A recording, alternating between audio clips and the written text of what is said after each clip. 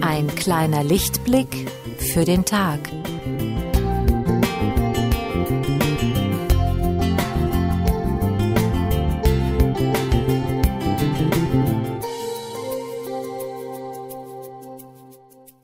Dienstag, 3. Juni. Das Wort zum Tag steht heute in Psalm 34, Vers 9. Schmecket und sehet, wie freundlich der Herr ist. Wohl dem, der auf ihn trauet. Vor einiger Zeit wurde im Internet das Gebet eines Kindes veröffentlicht. Es wandte sich mit der Bitte an Gott, Lieber Gott, mach mich zu einem Fernseher. Ich möchte gern, dass die ganze Familie um mich herum sitzt. Ich möchte, dass wir zusammen sprechen, Sie mich nicht unterbrechen und dass Sie stundenlang bei mir sitzen bleiben. Lieber Gott, ich möchte fühlen, dass ich für Mutti und Vati so wichtig bin wie der Fernseher. Wir sind Gott, dem Schöpfer und Erhalter unseres Lebens, so wichtig, dass er willig war, dafür selbst das größte Opfer zu bringen, um innige Gemeinschaft mit jedem von uns haben zu können. Gott lädt uns ein, zu erfahren, dass er immer für uns da ist. Eine moderne Bibelübersetzung gibt darum das Andachtswort so wieder.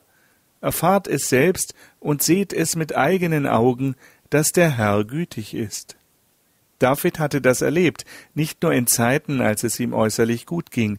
Er schrieb den 34. Psalm, als er fliehen musste, weil er von Abimelech vertrieben wurde weil David es selbst erfahren hatte, wie Gott ihm zur Seite stand, selbst in Widerwärtigkeiten und Schwierigkeiten, ermutigte er Gläubige mit seinem Lied Schmecket und sehet, wie freundlich der Herr ist. Das heißt, wagt es, mit Gott im Alltag zu leben.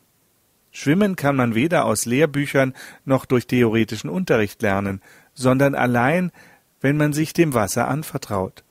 Ebenso ist es nicht möglich, Gottes Güte und Wirken zu erfahren, wenn man nicht beginnt, es in kleinen Dingen mit Gott zu wagen. Gottes Verheißungen, auf die wir uns im Gebet berufen, sind dafür eine gute Grundlage.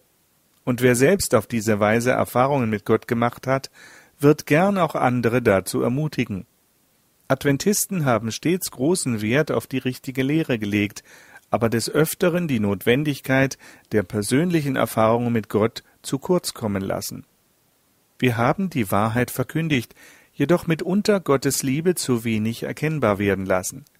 In der Regel sind unsere Mitmenschen heute weniger an der biblischen Wahrheit interessiert, wohl aber daran, ob ein Leben mit Jesus lohnenswert ist.